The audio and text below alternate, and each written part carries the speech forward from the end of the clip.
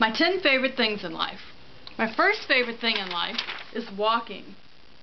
My second favorite thing in life are books. My third favorite thing in life are birds singing.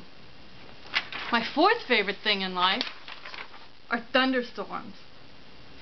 My fifth favorite thing in life are peppermints. My sixth favorite thing in life are fireplaces. My seventh favorite thing in life are Technicolor Vivid Dreams.